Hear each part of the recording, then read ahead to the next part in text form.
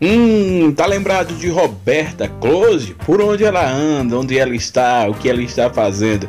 Vamos relembrar então e saber um pouco mais sobre uma das maiores transexuais da história do Brasil.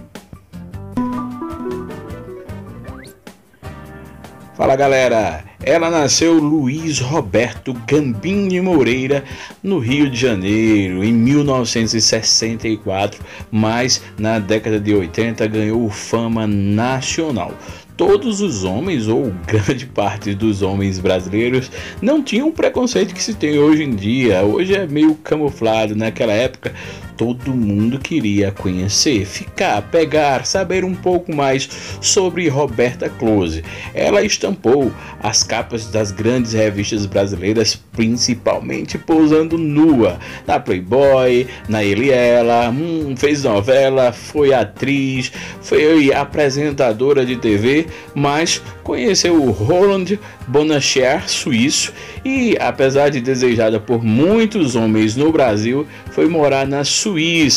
Casou com ele quando pôde mudar de nome, quando a lei brasileira mudou, e foi morar na Suíça. Trocou as amigas aqui pelos amigos de lá e frequenta as grandes rodas não só na Suíça como na Europa. Vive muito bem com o Roland lá na Suíça, é super requisitada pela alta sociedade da Suíça, Alemanha, França e pelo menos por enquanto, não pretende voltar mais ao Brasil. Segundo ela, os pais já não estão mais aqui, já perdeu dois irmãos e no Brasil, diferente da década de 80, existe muito preconceito, bastante preconceito com transexuais, com toda a comunidade LGBT. Então, se é para viver na Suíça tranquila, como quase uma celebridade, ou viver no Brasil tendo que suportar o preconceito, ela prefere viver lá, morar na Suíça.